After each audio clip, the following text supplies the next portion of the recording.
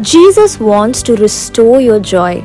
Greetings in the matchless name of our Lord and Savior Jesus Christ. 1 Peter chapter 5 verse 10 says, "But may the God of all grace, who called us to his eternal glory by Christ Jesus, after you have suffered a while, perfect, establish, strengthen, and settle you. Whenever we go through a period of hardship, that period might have taken away the joy and happiness from us.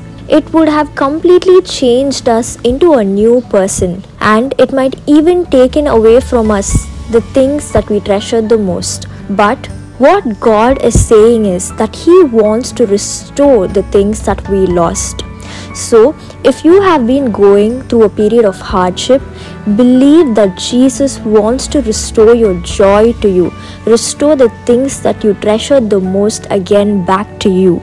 Jesus wants to bless you and He wants you to be happy. So, put your happiness and your joy in Him. Believe in Jesus and even before you could realize, you will notice that Jesus has already restored more than what you have asked. Let us pray.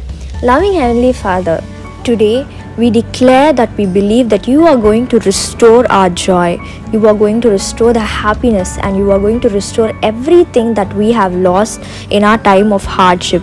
We know that you are carrying us to a bigger, brighter, and better place, and we know that you are going to give us more than what we asked for. We thank and praise your mighty name. In Jesus' mighty name we pray. Amen. Have a blessed day. God bless you.